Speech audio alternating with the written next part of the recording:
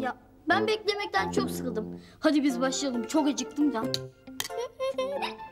Hop hop dur bakalım. Babam gelmeden olmaz biliyorsun. İyi be. Aradığınız kişiye şu an ulaşılamıyor.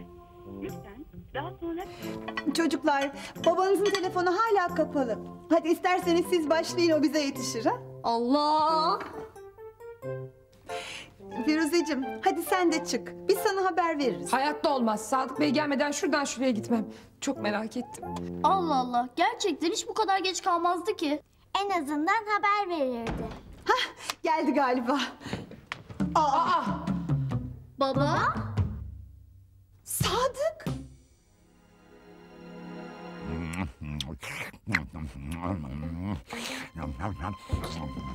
Afiyet olsun Taci. Sağ ol, sen de yer misin? Ay çok komik.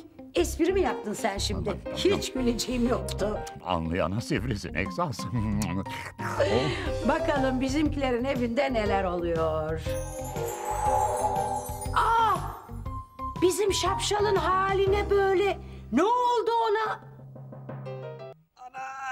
Anam anam anam. Tatlım söylesene ne oldu sana? Yüksek bir yerden mi düştün? Yoksa biriyle kavga mı ettin? Ne? Kimle? Neden? Şu yandaki Lütfü Bey var ya. Ee, Tam arabayı park ediyorum park yerinde. Baktım karısıyla münakaşa ediyor. Ya, Aa, sonra birdenbire karısına vurmaya başladı. ne? Yapmayın etmeyin dedim. Sen karışma dedi. Bu aile meselesi dedi.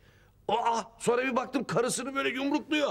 Da- Dayanamadım araya girdim tabii. Elleri kırılsın inşallah.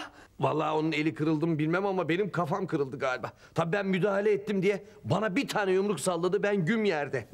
Ay. İki gözü kör olsun inşallah. Neye uğradığımı şaşırdım canım.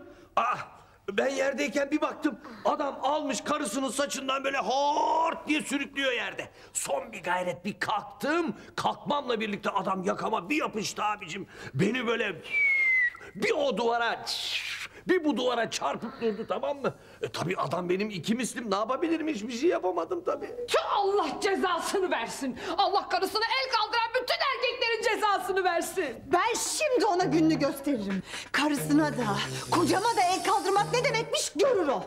Bizi de bekle Betüş. Ben de geliyorum. Kimse bizim yolumuzda dönmez. Ya durun ah, nereye gidiyorsunuz Allah aşkına ya bırakın siz bu işe karışmayın lütfen. Hayır hayatım, birinin bu adama dersini vermesi lazım. E, ya zaten bir konu komşu polis çağırdı karakola götürdüler adamı geri dönün. Olsun, ben gene de bir bakayım karısının durumu nasılmış. Çocuklar, siz lütfen burada kalın tamam mı? Ben de geliyorum sizinle Betüş Hanım.